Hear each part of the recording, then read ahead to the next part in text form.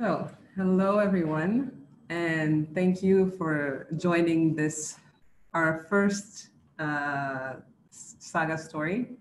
Thank you for taking the time out to register. I know it's not simple, it's, a, it's not a simple task, it takes some efforts, and I really appreciate everyone that took the time to do that, and for everyone that's been sharing uh, the post. Um, I'm really happy to say we had a a lot of people registering. Uh, hopefully everyone can join the session, if not now, maybe a little bit later.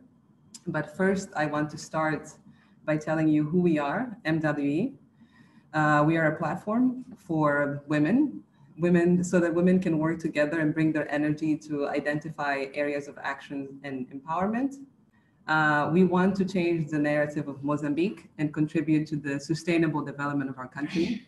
We aim to increase the number of women in the sector, urban and rural areas, and we want to highlight professional qualities of women in the sector, and we strive to create equal business opportunities for all women. But more than anything, um, we are also working to make sure that everyone has access to energy. So equal access to energy is a huge objective uh, for MWE most importantly, um, accessible, reliable, affordable, modern, and clean energy. So, with that said, I want to thank Antonio Jopela for accepting this invitation uh, to represent the network, the, the energy, the Women of Energy of Mozambique. It's, uh, it's quite let's say, admirable, uh, especially for a man to be the first one to speak on a platform for women. So um, thank you for that. And I hope you guys can find uh, this these sessions helpful, uh, at least a place where you can learn a bit more about the, the, the industry, where you can you know, share some ideas and meet other aspiring uh, engineers or entrepreneurs or just people that are interested in general about the, this, this industry in particular.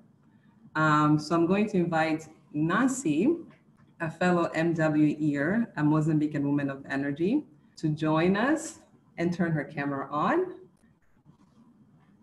And Nancy has been uh, fundamental in supporting this, um, this initiative. Uh, she's helped all of us create uh, in terms of the agenda, the speakers, the look, everything. And one of the one of our goals at MWE is to also make sure that people like Nancy, women like Nancy, have uh, a platform where they can make their voices heard and be useful. And she's a true pioneer of that. I am going to turn off my camera and I'll let Nancy do the rest. And I hope this is a that it's a constructive uh, network. Nancy, your turn. Um, thank you, Tabumba. Uh, hi, everyone. Good afternoon. Thank you so much for attending this first Energize Saga. The aim of this saga is to create a network between all of the engineers and not limited to that. Uh, we want everyone to have access to the information of the oil and gas industry. So for our first uh, speaker, we have Antonio Jopela, who is currently working as an operation and maintenance mechanical engineer in Coral South FLNG project. He served in the same project as a local content officer and also working with the, the rotating equipment and construction departments of Technip FMC as a mechanical engineer. Antonio holds a master in project management for environmental and engineering and energy, sorry, engineering for MIT in France, and a bachelor in mechanical engineering in UEM. So thank you all of us to join us, and I will say Antonio to turn on the camera. I will turn off mine and uh, enjoy the section.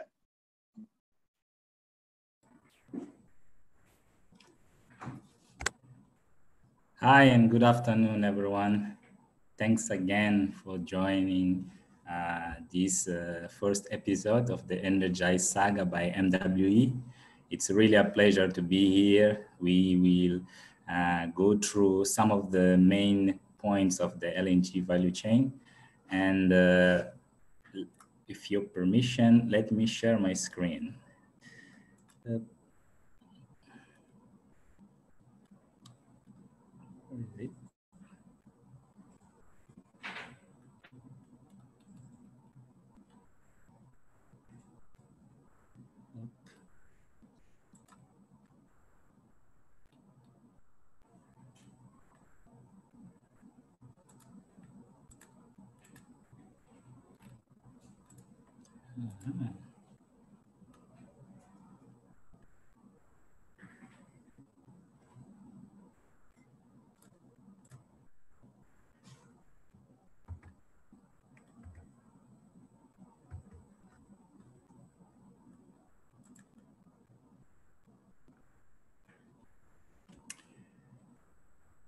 So uh, before we start, I will talk a little bit more of what I'm doing now as an operation and maintenance engineer, uh, working for this project that it's going it's going to to be the first one of LNG in Mozambique.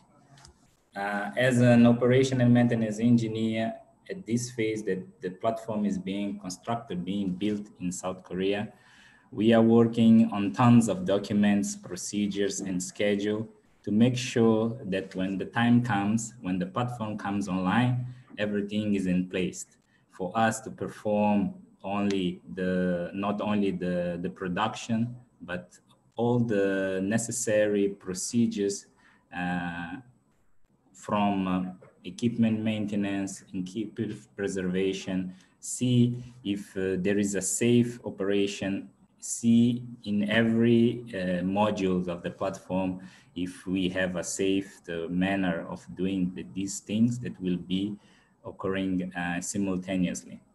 So it's very interesting uh, for me to share a bit of what I learned uh, and to discuss about the LNG value chain. But before that, uh, I will ask you to use this presentation as the base of a very interactive uh, discussion forum where you will make the maximum number of questions that you can. If you don't feel comfortable writing the questions in the chat to everyone, you can write it directly to Nancy in Portuguese or in English as you want. Uh, make the, the, the, comments, add information if you want. Feel free, don't be, uh, don't hesitate to, to add uh, valuable information in the presentation, to answer other people's question. The idea is just to discuss, to learn, to share information and give one more step in this never ending journey of learning. Uh, so please send as many questions as you can, comments, uh, and at the end of the presentation, when your, your mics will be uh, unmuted, you can also uh, add and make questions and discuss so that we can take maximum benefit of this. This is actually the, the true value of these kind of platforms. when you, we use it to share, to learn, to, to teach, and also uh, to meet new people, right? So in this LNG value chain, before we, we, we go into it, we have to understand what is LNG. Why do we need it? And what is the process behind it? What is uh, the technology that allows us to get this, this uh, product? And we will also see an example of how it looks in reality. So LNG stands for liquefied natural gas. Natural gas, it's mainly composed by methane, and methane is a very low density, which makes it uh, very hard to storage because it, it occupies large volumes, which are expensive and uh, are not feasible in most of the times. So what we do is to cool it down to minus 162 degrees, allowing it to go from the gaseous form to liquid form. This will reduce its volumes by 600 times, which are used mainly for transportation purposes. And speaking of this, there are many options uh, to, uh, in, uh, to transport gas or LNG. And each one depends on different scenarios where we, we, will, we will see uh, one by one. We can uh, transport gas through pipelines on land. And this uh, solution is mostly used when we want to distribute on a network to the final users, where the place where we process the gas and the place where we distribute the end users are quite close.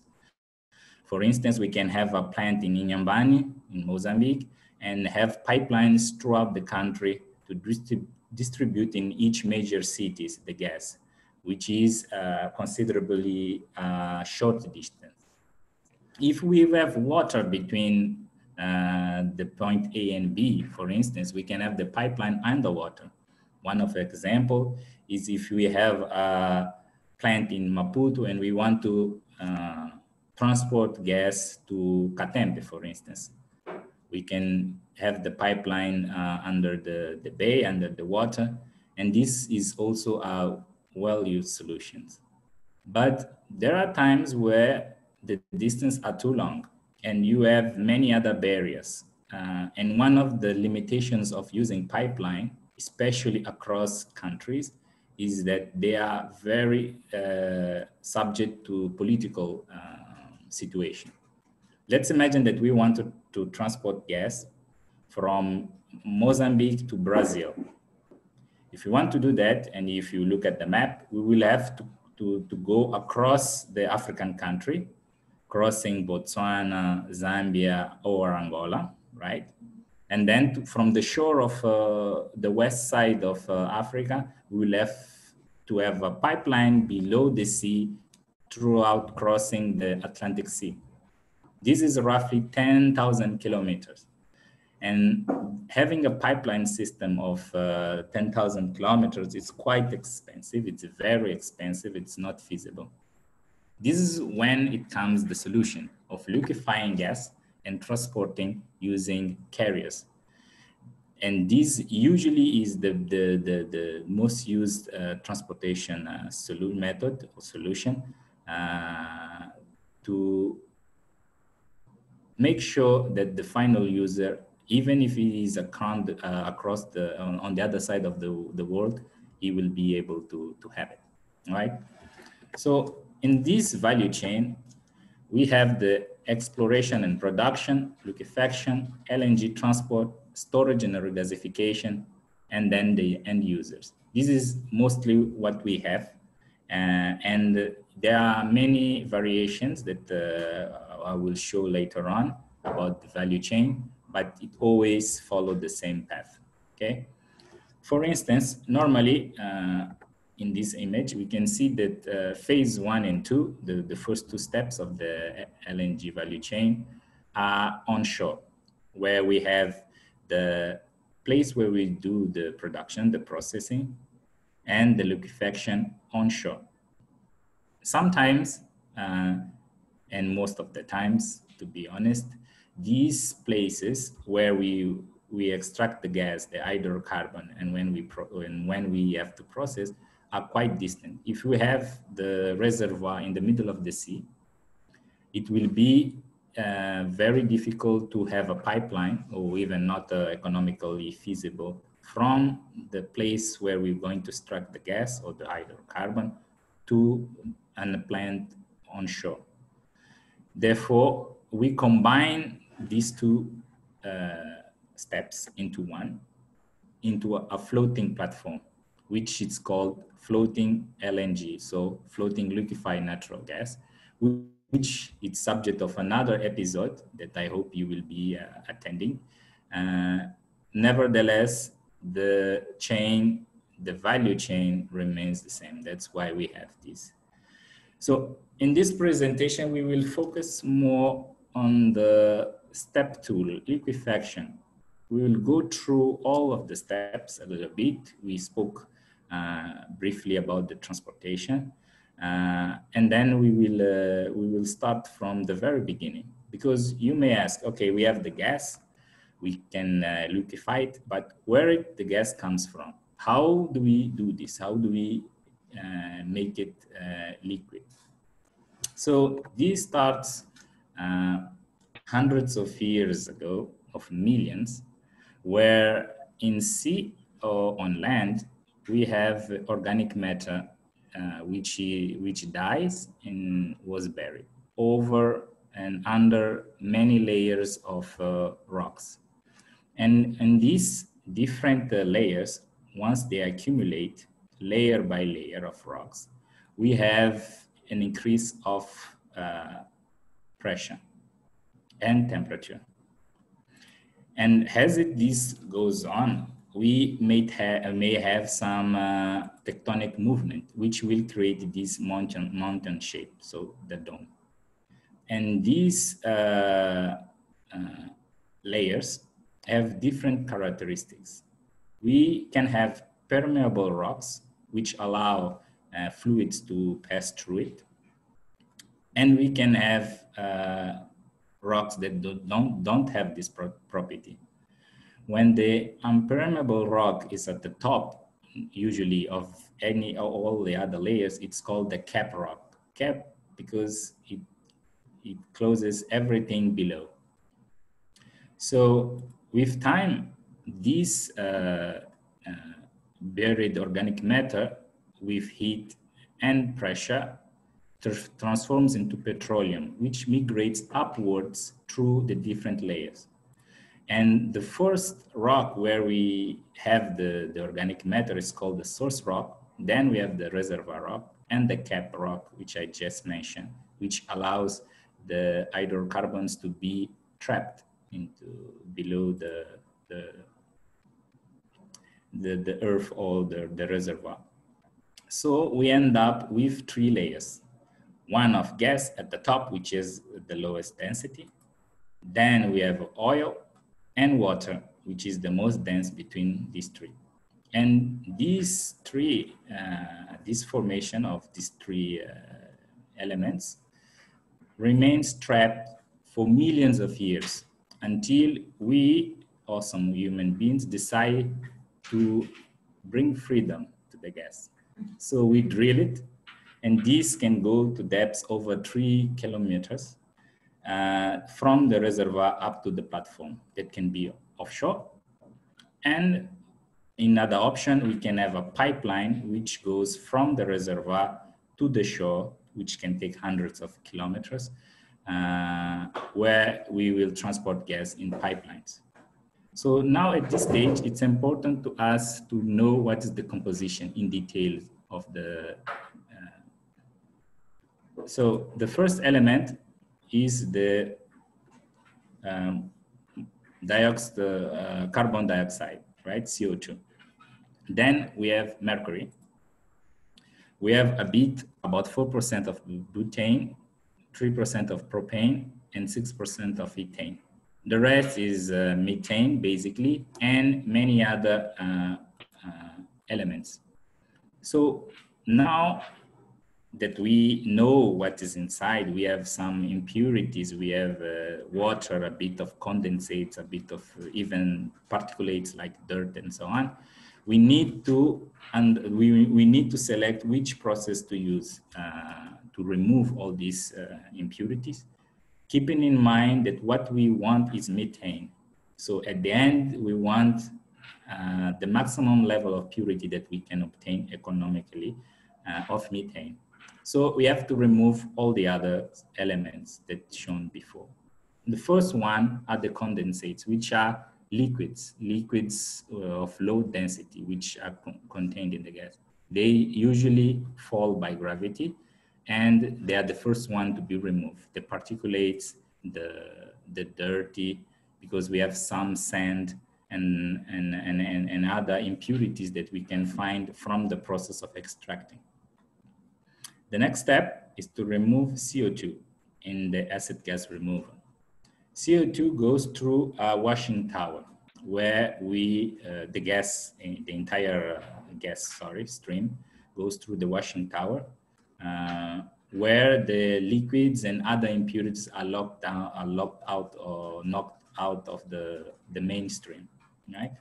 And then after the, the gas is washed, it's, it's, it's forced to go through uh, a CO2 uh, absorption column.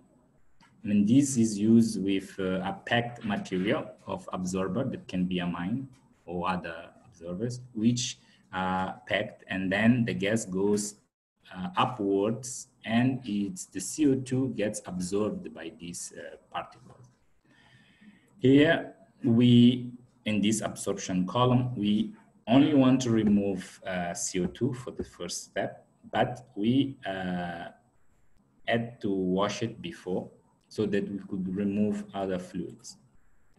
So by washing, we increase the, the level of water and uh, we need to then remove it as, as well as uh, the CO2 because if we leave the CO2 in the mainstream, when we go to the cryogenic part, when we lower the temperature, it will freeze. It will become uh, solid. And this can damage the equipment and uh, create blockage. So this is why we remove CO2. For the same reason, we have then to remove water because the gas was saturated by water during the process of washing. And we do this in the, in the dehydration unit using molecular sieves dryers, which use adsorption to trap the water molecules in, in a column. Uh, so now we, we have gas without CO2 and which is dry, so without water that we use. During this process, we lower the temperature and we end up with a fluid or about 20 degrees Celsius. The next impurity that we want to remove is mercury. And it's important to remove mercury uh, because it can corrode the material. It's very corrosive and it's not good for the final user to burn uh, a fuel which contains uh, mercury or high levels of mercury. And this we do using another absorption column. So absorption and heat exchange is one of the main are the main processes in the, in this type of uh, unit. And in this absorption, you will have the gas passing through a packed material in a, on a vessel, in a vessel, which will then remove all the stream. So now we will have a stream containing butane and other products uh, without mercury, which is what is very interesting to us. Now, speaking about uh, heat exchangers, where we have gas going uh, to be cooled, we usually use propane as a refrigerant. And propane is used as a good refrigerant, which is also part of the, the mainstream, but there are others like nitrogen and so on. So in, the, in these uh, heat exchangers, we can have liquid propane on a vessel, uh, where it's cooled to minus 140 degrees, for instance. And then we have the mainstream of gas, the ones that is being started, passing through this liquid inside the pipe. So the heat of the mainstream of the gas will, will go uh, to the propane vessel and the temperature will be lower up to minus 35 degrees Celsius. So we have a cooler gas we have to then go to the one of the most important stages of the liquefaction part, which is the fractionation. Remember that at the very beginning, the composition, we had uh, propane, ethane, butane, and heavier components. We only want methane. In terms of uh, uh, composition, methane is the, is the less heavy component because it only has one atom of carbon. And then we have ethane with two atoms, propane with three, butane with four, and so on. So all these elements are then removed on a scrubber where based on the density, we remove the, the, the lightest from the top and the, the heaviest go uh, uh, at the bottom of the vessel. So we remove all these other uh, components, remaining only with methane in the mainstream. And all these uh, other products are used can be subproducts. They are not always impurity. For instance, propane is used in the system in some uh, liquefaction system as the refrigerant. Butane also can be a refrigerant. Butane is also a product that we use in our kitchen. So there are many subproducts during the liquefaction. And speaking about refrigerants, most of them are uh, used as a refrigerant, what we call uh, mixed refrigerant, which is used in the heart of the liquefaction, which is the main cryogenic heat exchanger, where we, we will remove the heat of the mainstream up to the point where it becomes liquid. So at this stage, where we have created uh, the mixed refrigerant based on the components that we removed or that we add into the system, we go through the main cryogenic heat exchanger. Here we will have the gas going upwards in a different, uh, in a very long pipe and the refrigerant downwards. When they cross, the heat is transferred from the main gas to the refrigerant. And now we have minus 138 degrees Celsius and it becomes liquid at 900 and at 19 atmospheres. Now we have uh, reached the point where we have liquid minus 138 uh, degrees Celsius. It's about now to cool it further so that we ensure that it will remain liquid and we can transfer from place to place without any issues. And we do this in the flash vessel. And the flash vessel, basically what we do, we reduce the pressure. We were with uh, 19 atmospheres before, now we had 2.5 which means that we expand. And because expansion is the opposite of compression, instead of gaining heat, which is the case of compression, we lose. So from minus 138, we have minus 154 degrees Celsius. So we have the expansion. And we can further expand and further reduce the temperature if we reduce the, the pressure uh, to one atmosphere, which is the atmo atmospheric pressure and we will have the gas at minus 161 degrees Celsius, the, the liquid, sorry. So the LNG in uh, the state that we usually store and transfer. And this is sent to the storage tank that can have 36,000 tons of capacity and the gas really remains in the liquid form. But there is a phenomenon which usually happens in, the, in this kind of storage, which is called uh, evaporation. We have the boil-off gas. This boil-off gas, uh, it's an important amount of gas which uh, evaporates. Uh, and uh, it can go up to, in this case of 36,000 tons, can go up to 1,100 tons per day of boil-off gas, of gas that uh, uh, went from the liquid stage to the gaseous stage. And this evaporation process is the same as happened when we are drying our clothes, for instance. If we put um, a wet cloth inside your home for over the night, by the morning it will be dry, or at least it will have lost most of these uh, moisture due to the evaporation process. This happens in the tanks as well. So it's really important to measure the amount of boil-off gas. And this gas is usually used to generate power in, the, in this type of uh, facilities. Now that we have uh, the LNG in the, into the storage tanks, we have to transfer it. And we do this uh, using uh, LNG carriers. LNG carriers come from time to time. And from the LNG jetty export, we can connect the, the Carrier with the tank and then transport all the gas. And because we have liquefied, now instead of 600 ships, we will have only one to carry the same volume if it, if it was in the gaseous form. So it's very important to reduce the volume. And this gas is regasified by heating and sent to the final user where you can cook, have a cup of tea, read during the night, and so on. So in a glance, we went from exploration and production to liquefaction, uh, transport, regasification, and went to the final user. In a, uh, that's basically an animation that shows the LNG value chain. and shows uh, what are the main steps of the liquefaction process. Okay.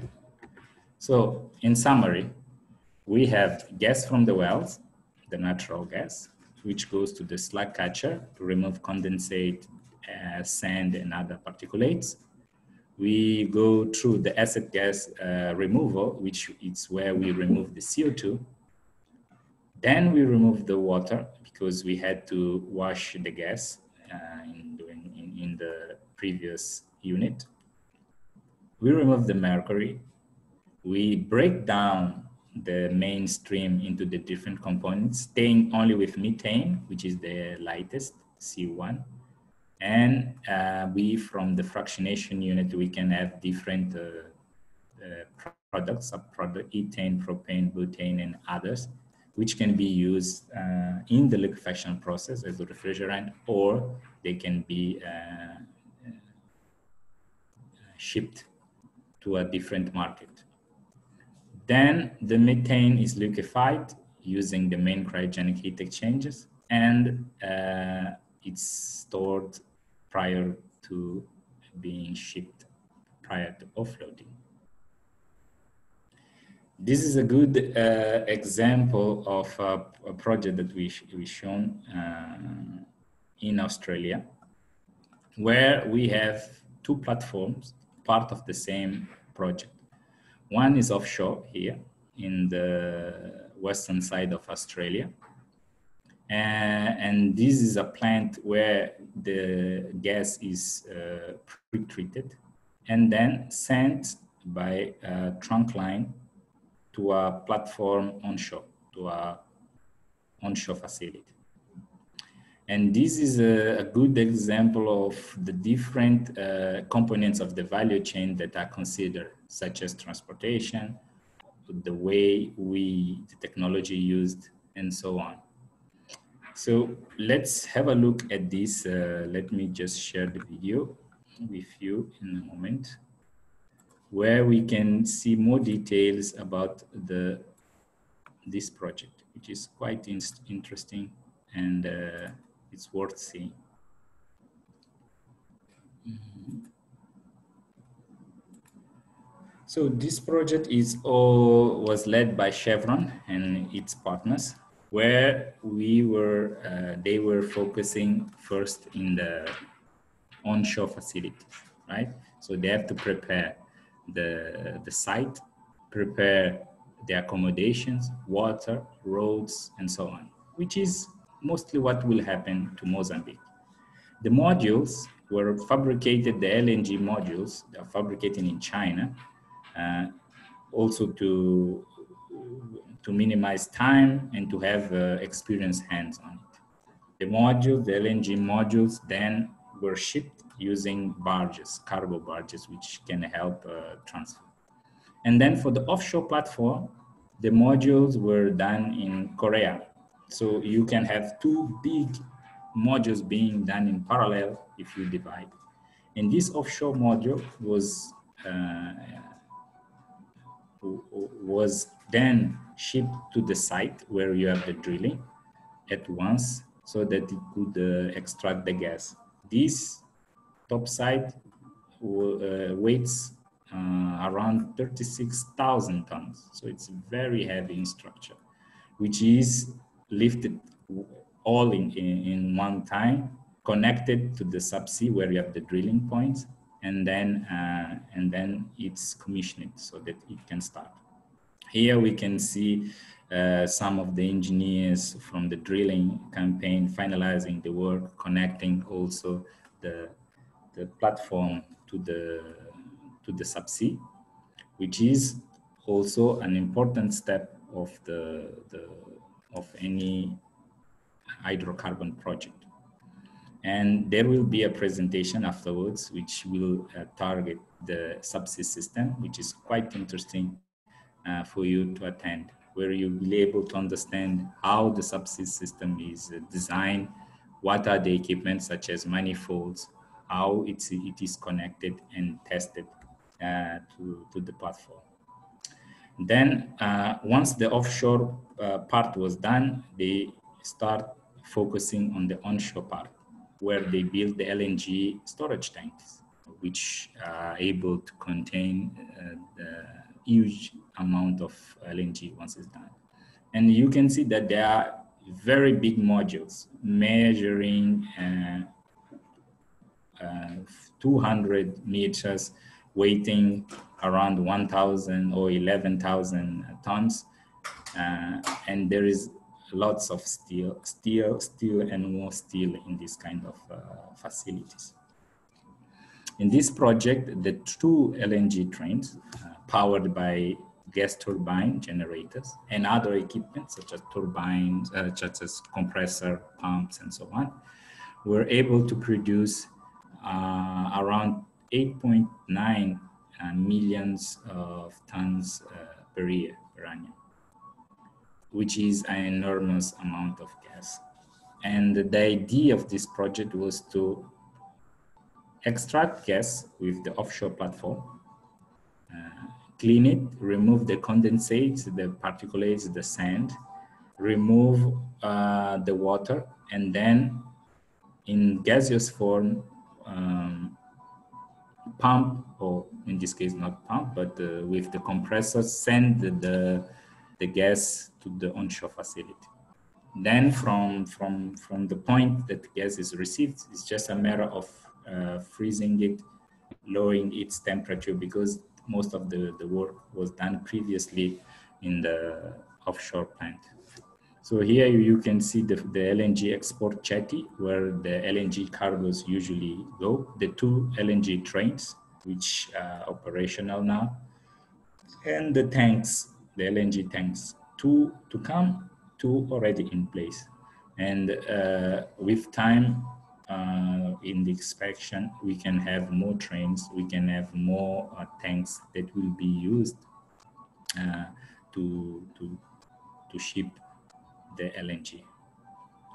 The project started in 2011 and in 2017 we had the first cargo, which is the images here, first LNG cargo from this uh, Wheatstone uh, project in Australia which was uh, an important milestone, uh, making uh, Australia one of the big players in the, in the LNG industry.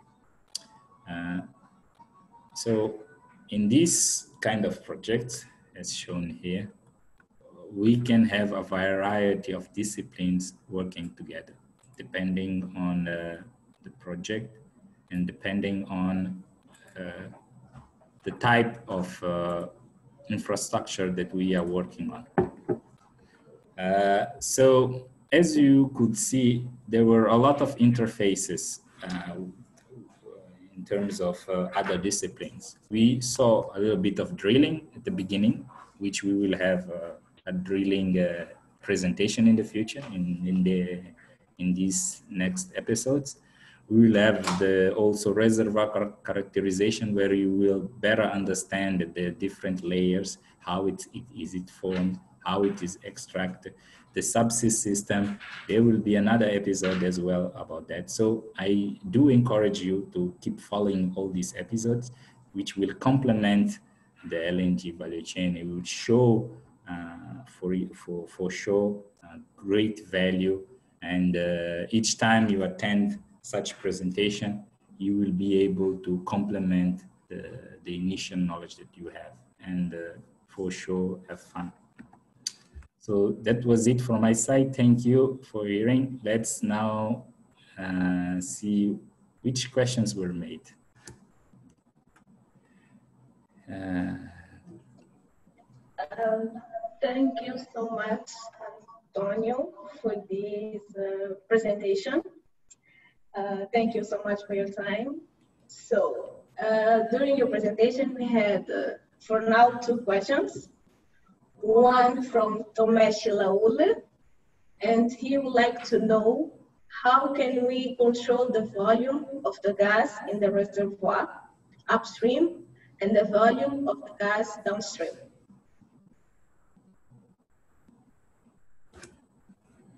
Uh, Okay, so how can we show? How can we control? Monitor. Control. Control. Yes, the volume of the gas in downstream and upstream. Since uh, when you are in the reservoir, the pressure, uh, we have a high pressure and temperature, and we, when we start the process, we have a reduce of pressure or temperature. So how can we control this uh, volume on the upstream and downstream? Okay. Right, thank you for this interesting question. Uh, upstream, usually we do uh, focus on controlling the pressure, the pressure uh, on the reservoir. It's during the reservoir appraisal with the survey and other equipment, we can estimate the amount of, of hydrocarbon, can be gas or, or, or even uh, oil but uh, it's uh, an estimation. We cannot, and usually it's hard to have the exact amount, the exact volume. So once throughout the project, once we notice that there is a depletion in the pressure, we can now understand that the volume is decreasing. And there are methods used to uh, increase or to reestablish the pressure so that uh, the hydrocarbon can flow easily to the platform which is injecting water, or if we're producing oil, we can re-inject gas. Uh, and uh, as you saw in the layers, having gas at the top, oil in the middle and water at the bottom, if we inject water, it means that all the, the, the, the, level, the entire level of these three elements will rise and the pressure of the gas pocket will then increase. Downstream, uh, it's easier because uh, usually the volume is based on the amount of hydrocarbon that you can process, it can be uh, oil or gas. And uh, based on the capacity of your plant, I mentioned this onshore plant was uh, uh, around two millions of um, MTA. And this capacity uh, varies from plant to plant. And based on that, uh, we can calculate the flow, uh, the volume flow of the product into the tanks, the storage tanks, and determine how many or the frequency of the LNG or the, the carriers that are necessary to come and to remove the, the hydrocarbon, the product, so that uh, you don't have an overflow of your production. Okay. Okay. Thank you, Antonio. Uh, the second second question is from Daisy Senda. She would like to know what can be done with the rest of the removed, removed components that they they can be reused for other process in the FLNG. And if not, how can they be reused if they is disposed or not? Okay, thank you, Daisy. Uh, so these byproducts of our liquefaction process are actually quite valuable from the condensate, right? In the markets we use uh, in different uh, uh plants downstream, right? We can have fabrication even of, of cosmetics based on condensates. Uh, we can also use butane, for instance, which is the gas that we use in our kitchen. It can be uh, uh, sold. We can sell also uh, the propane, which is uh, used in uh, power plants to generate energy. The ethane as well, and many, and most of the subproducts of this liquefaction of the, the natural gas are used uh, they are cleaned, they are proce further processed, or even uh, we can sell it as they are, uh, so that we don't discard anything. And we can also reuse these subproducts, as I mentioned in the presentation. Uh, we can use some of the gases uh, as refrigerant in the main cryogenic uh, system, where these refrigerants, we can cool them down, for instance, uh, propane. and then put them uh, crossing the mainstream, therefore removing the temperature uh, of the mainstream so that the plant can also use its subproducts to sustain itself. Thank you. Um, thank you. The third question is from Agnaldo Never. He would like to know what is the liquefaction temperature of the natural gas to form LNG? What, what, what is the, the temperature? Yes. So basically, the, the, the, natural gas turns into liquid at minus 138 degrees Celsius. This is the point. But we, we need to go, uh, we need to cool it further to ensure that it will not become gas in case of we have a variation of temperature or pressure. So then from minus, uh, 300, uh, minus 138 degrees Celsius, we cool it further down up to uh, minus 161 degrees Celsius at atmospheric pressure, which is usually what we use to, to, to, uh, to transfer. Thank you. Uh, from Madalena she would like to know uh, what is the value or benefits that the LNG projects have for the nation or country that they are developed for?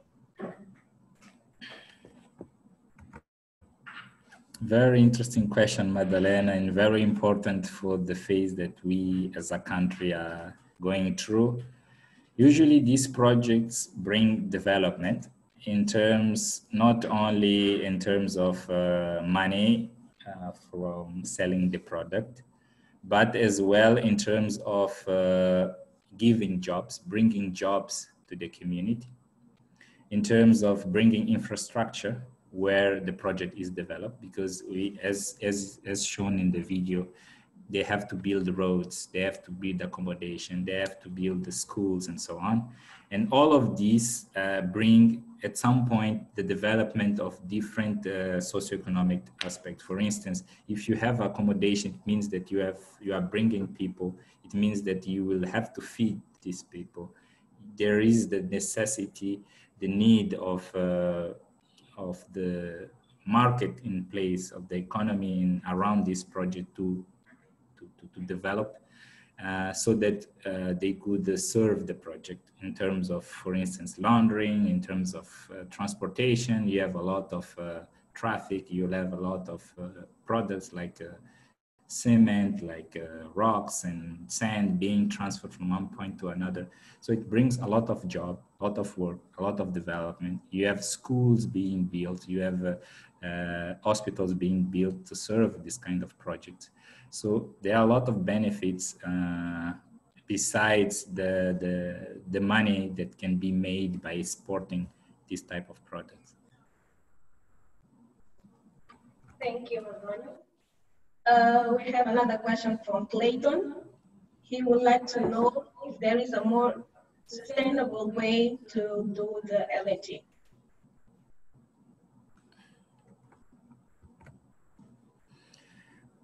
Sustainable way in well it's it's it's quite difficult to understand in terms of what. Usually these solutions and this technology are quite optimized in terms of reusing the subproducts avoiding uh, any uh, pollutants to go to the to the environment these technologies are well proved they have a good track record of no leakage to the environment of no, uh, uh, let's say, pollution, air pollution caused in burning, especially gas, which is one of the cleanest uh, fossil fuels, which are which we have today. So uh, there are many different technologies to liquefy. For instance, instead of using propane, which is an hydrocarbon uh, in the liquefaction process, you can use nitrogen which is quite abundant, you can just cool it down and then use it uh, to, to, to, to, as a refrigerant to cool the mainstream.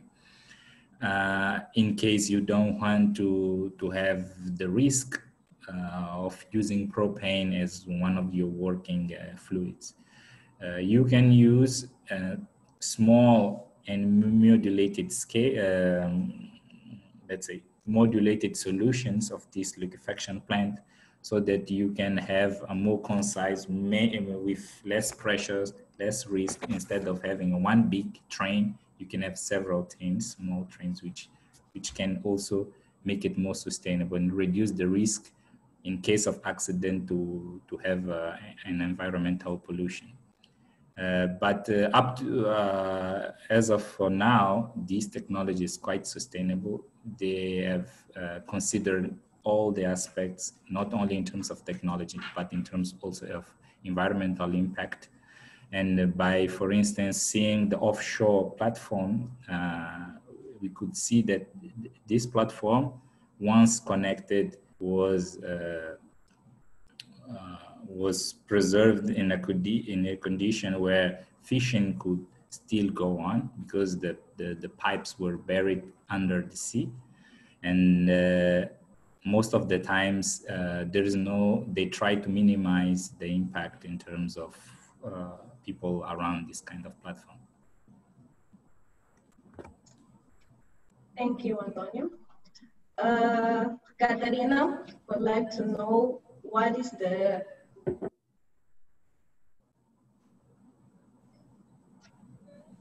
Sorry. Uh, let's go to Lisette. Lisette would like to know uh, what is going to be done with the rejects created during this processing uh, and what is going to be done to avoid ambiental pollution.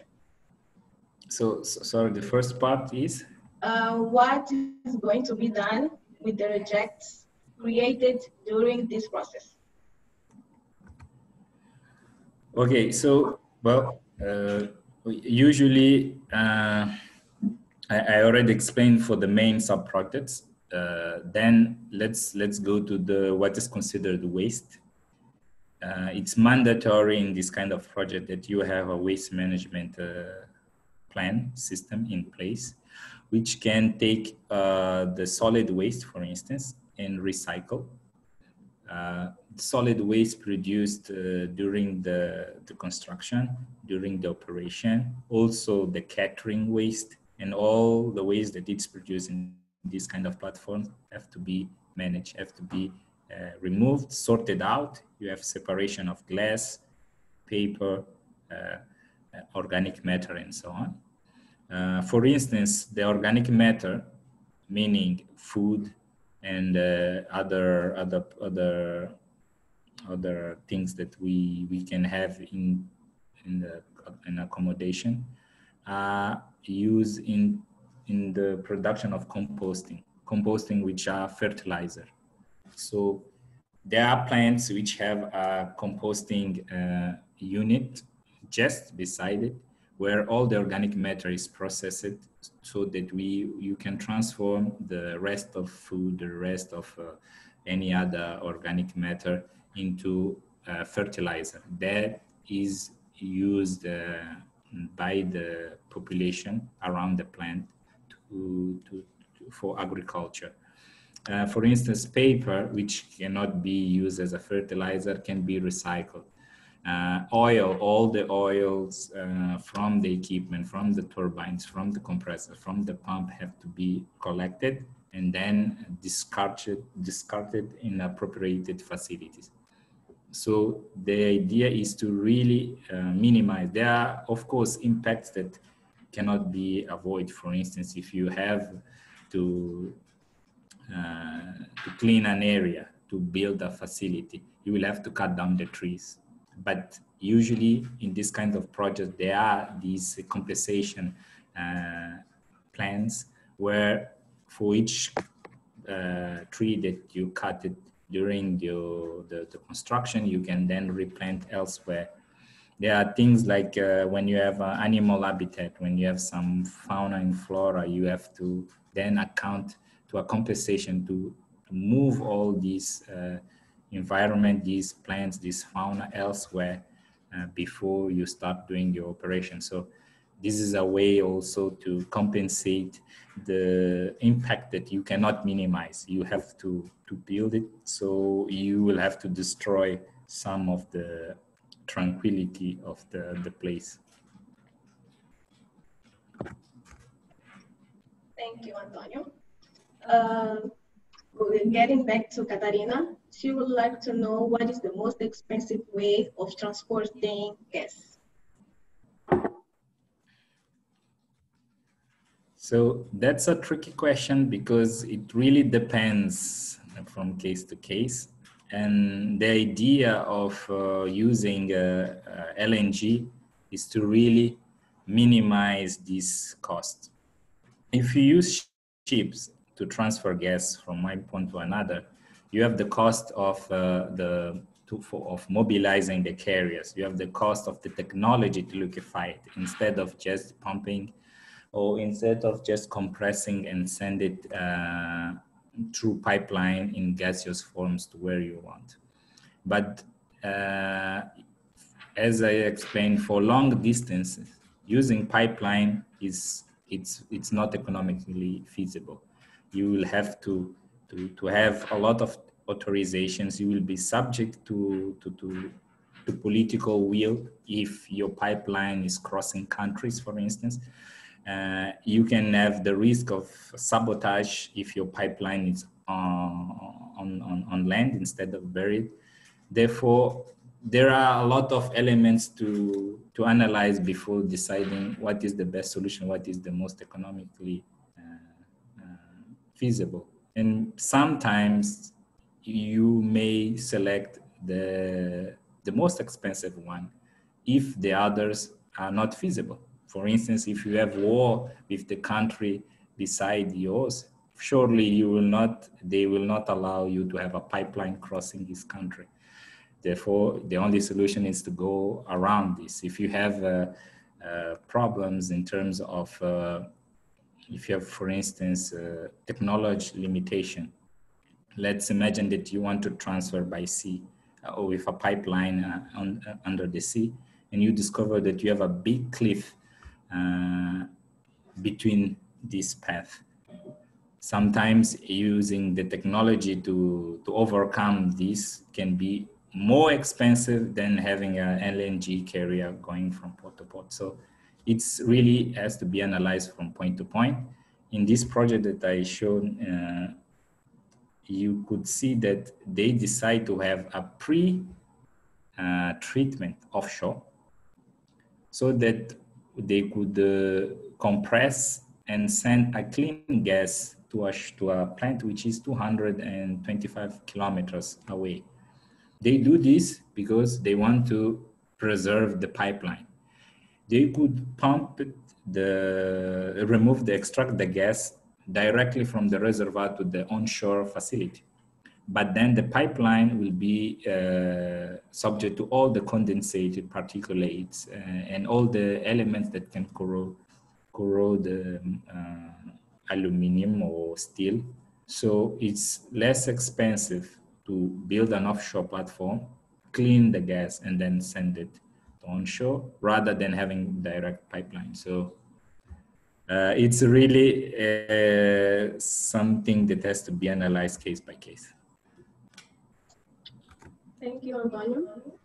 Uh, Bango Lobo would like to know what's the advantages of liquefying the natural gas besides the fact that it becomes easier to transport.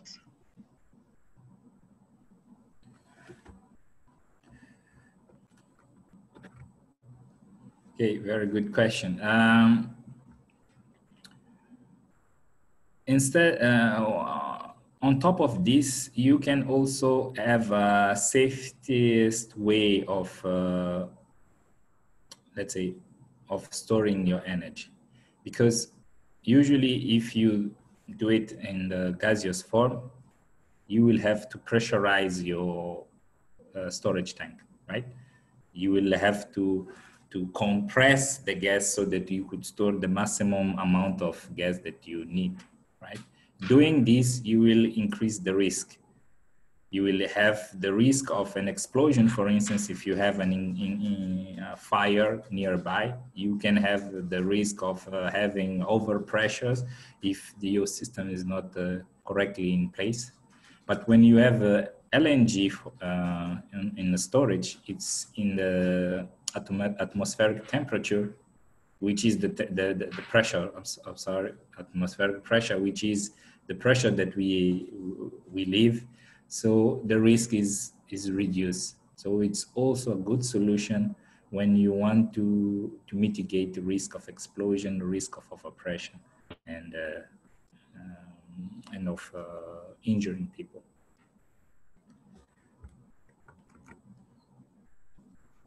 thank you um, Andre Kunde would like to know what is the percentage of Mozambican engineers involved in the drawings uh, in the project uh, in Mozambique or around the world? Okay, uh, well, the first and most correct answer will be that I don't know. I don't have this number.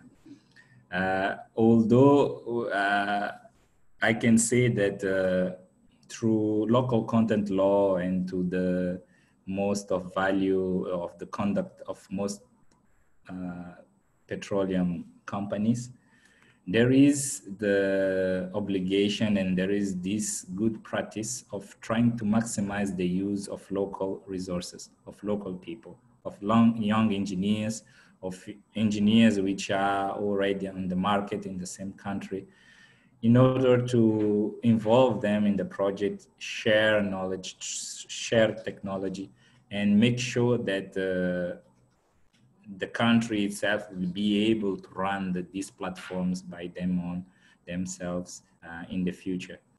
So the design, the people involved in the design really changes uh, from project to project. Uh, I would say in Mozambique, most of the companies that are operating here the, the oil and, uh, and gas companies are employing nationals. So they are going uh, in universities recruiting people such uh, me, Nancy, and other colleagues that uh, you may know. Uh, and this is this is the way to to involve the nationals in these projects, and it's also a way to share the knowledge to the country that in the future might be uh, operating its own uh, projects. For instance, we have ENH, which are, it is our national oil company, that it's learning from these uh, other companies. And in the future, maybe a reservoir or two will be fully managed by, by ENH with the use of Mozambican resources that are involved in this project. Thank you uh, in which kinds of rocks we can find hydrocarbons.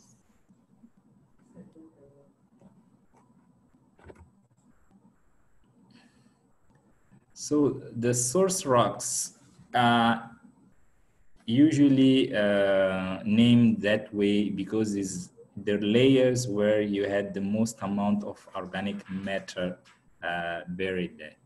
For instance, in land, how do you have these kind of uh, layers? Uh, if you have an earthquake, let's say an earthquake in uh, in some jungle, right? You have many trees and animals uh, being uh, buried. Let's say you have the opening and closing of earth, the move of tectonic layers.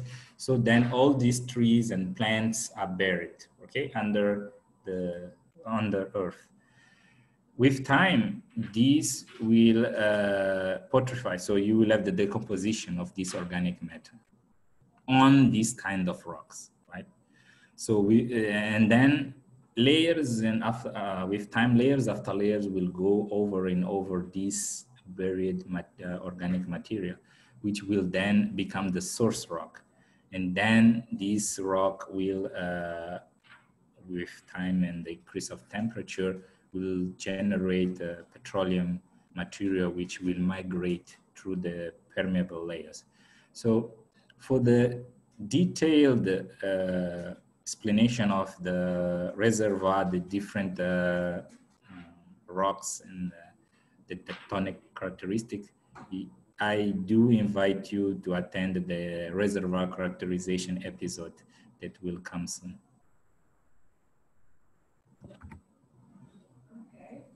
Uh, let's go to the last questions. I will join two, that is from Lisette and Vicente. Uh, Vicente wants to know, because you, you talk about uh, air pollution, or you talk about the pollution, he said, uh, how will you avoid the air pollution? What about the CO2? Uh, LNG is still a fossil energy. And Lisette wants to know uh, what gas gases exactly are the employees going to be ex more exposed? Okay, thank you. Really smart questions. Uh, for the first one, the CO2, you notice that one of the first elements that was removed from the mainstream was CO2 all once uh, because it can create blockage, but also to remove the content of CO2, reduce the content of CO2 in the in the in the stream of gas that will be burned afterwards. So you will have a very low content of CO2 at the end of your product that then when you burn, it will release uh, very uh, little content. But even though you have little uh, amount of uh, CO2, you will have at the end of the burners uh, air uh, treatment system for the exhaustion gas. So all the exhaustion gas in the combustion, uh, whether if it's from the turbines or any power plant, they have to go through uh, air treatment system. So exhaust gas treatment, which will filter the, the CO2 from the combustion gases and will uh, then remove other materials such as uh, elements such as mercury. We will not remove mercury by 100% in the liquefaction process. So when the time comes to, to burn the, this gas, we will have the exhaust gas treatment to to further filter the, the, the, exhaust gas and then have a cleanest air uh, around the, the, the plant. Uh, and for the second question was regarding the gases that the employees are exposed to in the plants. So as I said, depending on technology, you can have uh, different types of uh, uh, gases being used, for instance, in the liquefaction process. You can have, uh, for instance, propane, which is toxic because it's an hydrocarbon. You can have nitrogen, which is not toxic, but if you are exposed to large amounts of nitrogen, you you may die. So for all confined spaces where you don't have, uh, let's say, ventilation or you have limited ventilation, the employees are, uh, should use breathing apparatus. Uh, and these breathing apparatus are used for a limited amount of time. Usually they have sensors on their clothes. So once you reach, uh, let's say, a level of toxicity in the air that is more than what a, a normal human being can handle, it will trigger an alarm to make you leave. Nevertheless, all plants, they have very, very sophisticated aeration systems where they uh, remove all the toxic gases from the, the working areas. They detect leaks for instance, if you have a leak of methane of the storage tank, they are able to detect, plus also detecting by pressure, because if you have a leak on the tank, it means that the pressure will drop, it will trigger an alarm. If it's not by the pressure alarm, you will have the air uh, analyzer that will uh, extract samples each time, each minute of the, the, the operation to see uh, what is the composition of the air to see if the aeration has to be increased or if the employees have to be evacuated from this place. So they can be exposed to many, many uh, toxic gases depending on this platform, uh, on the nature of the platform. But there is the care of using breathing apparatus, of having an, uh, air analyzers and having also uh, a good aeration system. Thank you, Antonio. Uh, I will only would like to say to Marta Celia, she asked about the removal of acids in the mercury. For this particular part, it's better to go to the saga that will talk about the LNG production because these products are from the LNG production. Right, Antonio? Exactly. It's a very good uh, point mentioned that these presentations will will complement each other.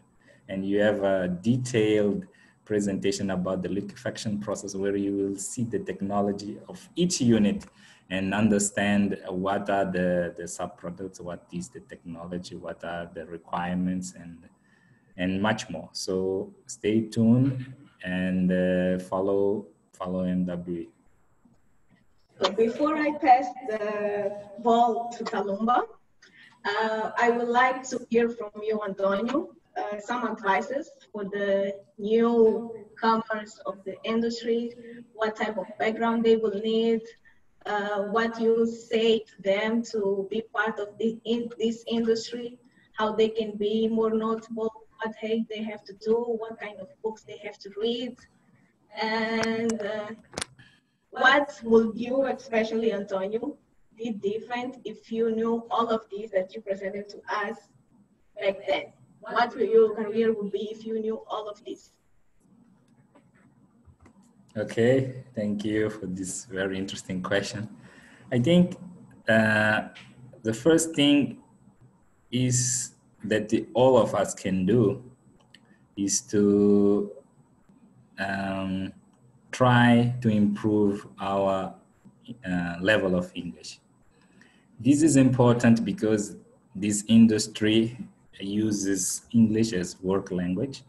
It's an industry around the world. We have many international companies. That's why we made the presentation in English, so that you can see that uh, in this kind of environment, you will need to understand, to speak, to make an effort to, to, to be able to speak English to be able to communicate because the idea is not actually to have perfect English. It's to be able to communicate with people in Australia, in Korea, in uh, Zambia, in many other places. You will have a team in our, just by example, in our company, we have almost uh, 50 different nationalities. And you can imagine how many different languages we have. So learning English is my first advice. You can learn by yourself. I did it uh, also with uh, movies, with music, with video games, with talking with my friends, and just uh, do it uh, uh, as much as you can. Do it uh, and associate this with your your your your time, your hobbies. Um, in your leisure time. Then uh, another point is to uh, be, let's say, attend this kind of presentations like the one we just uh, saw. Because once you uh, start, uh, let's say, compiling different information, once you, you start observing different information, your mind starts opening and starts understanding the different interfaces between the disciplines in this industry. Uh, it's quite difficult uh, to say that you will learn everything at once. It's not possible, and you don't need to. You attend one presentation, you will learn one thing or two or three or many others, and then you go to the other, repeat the same presentation. It's with repetition and compiling bits of information that one day you will become an expert. So be exposed to this kind of uh, presentations, read the materials, read, see videos in the internet about the LNG. You can now put LNG uh, value chain in the internet, you will see a lot of videos. You will also find the videos that I sh- just showed you. So it will open your mind as you go, as you search for things, as you attend these kind of meetings, as you discuss with experts that will be presenting on, in this. Then, uh, well, for the ones who have engineering background, for instance, it's a matter of just selecting what, uh, let's say, which disciplines you do prefer in this uh, industry. Uh, basically, uh, you can work in any any in any industry, but if you are interested in the oil and gas, um, you can search on the internet what are the type of positions that are required, align with your your your course, right? Your your, your engineering degree and based on that you will understand which kind of knowledge it's required from an engineer. So you see i'm a chemical engineer. You you saw a lot of processing in this uh, presentation. You will see a lot more in the lng production. So now you will have to understand okay the absorption the absorption column. You need to understand what is the process behind it. So you learn these things. So when you get recruited you will be one step ahead and you will be ready to, to learn more and more. Uh, now, in terms of what I could do differently, uh, nothing, nothing. I think I'm quite uh, happy with the, let's say, with the things I learned. They are not much, but uh, I think uh, these things take time. You know, you will not, uh, you will not become an expert overnight. Uh, but if you are interested, you will learn and learn and make mistakes and learn again from your mistakes and and build up different uh, different things. And networking, networking is also very important. You need to to to meet people which are involved in this industry. You need to exchange. You need to be around these kind of forums, and uh, they will share and will give you a little a, bit of their knowledge and all these pieces over the years you will become you will become quite familiar and an expert. Thank you very much uh, for this opportunity. As i said it's uh, it was a great pleasure and it's a great opportunity not only for the for the audience but also for the presenter.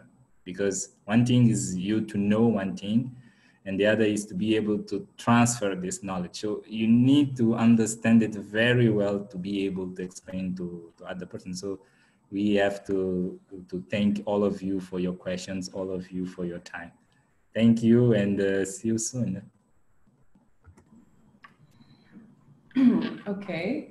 Um, I hope you guys uh, found this presentation useful. I know you did. Um, and just to let you know that if you have filled out the form to be um, well, to be part of this uh, a, this event, you will be notified when we have the next one coming up. So you most likely you won't need to do that again. You just receive a calendar invite.